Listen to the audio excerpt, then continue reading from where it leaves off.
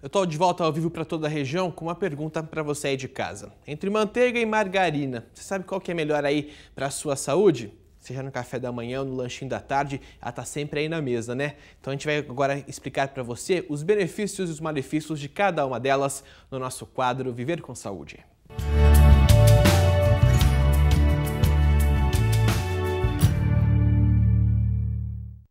Todos os dias a rotina é a mesma na casa da Dona Rosa. Ela levanta bem cedo, vai à padaria e compra o pão para preparar o café da manhã para a família.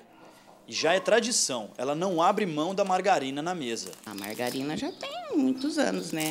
Mas assim, quando criança eu usava, né? Meus pais compravam aquela manteiga, né? Do sítio, assim. Então, assim, eu acho ela mais saborosa para fazer bolo também. Biscoito fica mais cheiroso, né? O bolo fica bem melhor com, com manteiga. E entre milhares de opções de margarinas e manteigas nas prateleiras de padarias e supermercados, você sabe quais as diferenças e qual delas é a mais indicada para o consumo pelos especialistas? Em casa só usa a margarina, diz que ela é mais saudável, né? mas eu prefiro a manteiga, mais saborosa, né? Qual delas é mais saudável, realmente eu não sei. É, eu uso a margarina porque dizem que é mais saudável. Sei que a manteiga é bem melhor. Pois é, e realmente a manteiga é o mais saudável.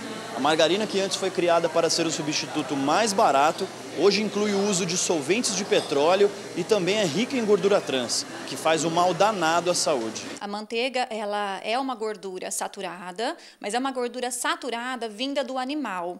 A gente tem que tomar cuidado realmente com as gorduras trans que tem na margarina, na maior parte delas, e das gorduras que, que saturam é, em alta temperatura. A margarina também acontece isso pela, pelo processo de hidrogenação, ela se transforma em uma gordura saturada, que essas sim são extremamente prejudiciais para nossas artérias e aumenta risco cardíaco.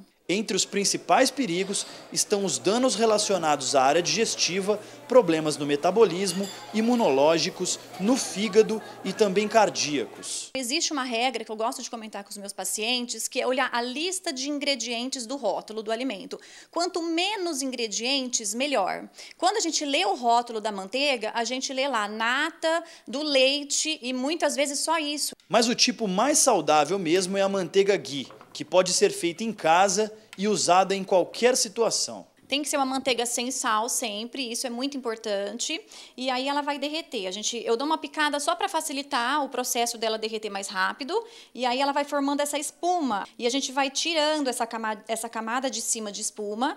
E depois, no fim, a gente percebe que desce todo o leite. Eu coloco sempre num vidro. Ela não precisa ser refrigerada.